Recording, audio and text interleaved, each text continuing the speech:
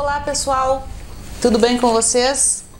A dica da semana é como usar o álcool para dar um efeitos de pingos, de manchas uh, no fundo da sua obra de arte. Vamos começar? É muito fácil. Então pessoal, vocês têm uma tela branca, nós vamos então dar esse efeito do álcool sobre a tinta acrílica. Então aqui eu vou usar o Gris de Pen. Eu molhei bem o pincel. Vejam bem. E vou molhar só com água. Ele fica quase transparente. Aqui já vou usar o Steel de Pardo. Tá? Olha, está bem líquido, mas não a ponto de correr de ficar tão transparente que ele venha a correr.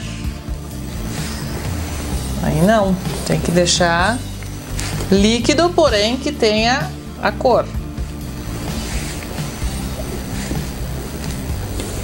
Ok, tá feito assim. Agora eu vou pegar álcool. Quanto mais forte o álcool, mais vai dar efeito. Aqui tem uns efeitos aqui de desenhos, mas é que é uma tela reaproveitada que tinha uma textura. Então, olha, vamos fazer aqui pingos. E o que, que acontece com o álcool? Se vocês deixarem, ele vai continuar trabalhando. Então a gente tem que ter sempre com um secador do lado.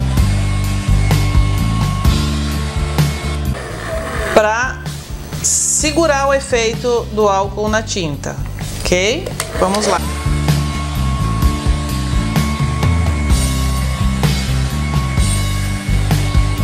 Se vocês quiserem esse efeito com a tinta a óleo, aí vocês vão passar a tinta a óleo com óleo de linhaça, passa bem mais líquido. E aí vocês vão usar o solvente, que vai dar praticamente o mesmo efeito ok? Aí para finalizar a tela, vamos usar aqui umas espátulas. Vamos usar uma espátula para dar um acabamento.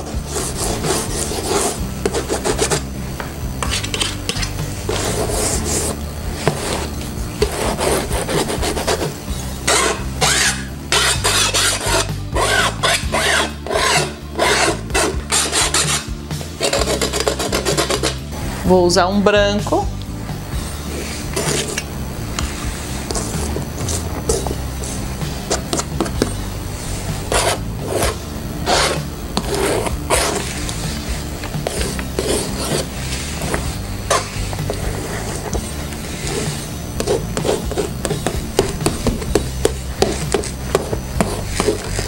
E dá um efeito muito interessante essa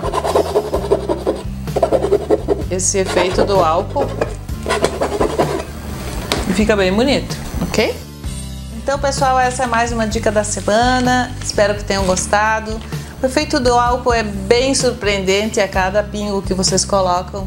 Ele dá um efeito bem diferente. Ele espalha, ele fixa, tudo depende de como tu vai secar. É um trabalho diferente que vocês podem fazer muito facilmente em telas grandes, pequenas, em algumas partes das telas, como fundo, e depois vocês podem trabalhar em cima ou até deixar esse efeito como inusitado. Se inscreva no meu canal no YouTube, onde vocês toda semana vão ter novidades com vídeos novos, com novas dicas da semana. Dê uma passadinha no meu site www.elianepasquete.com, onde há várias obras para vocês se inspirarem. Me sigam no Instagram, Eliane Maria Pasquete, e curtam a minha fanpage, onde sempre tenho novidades e informações sobre meus cursos online.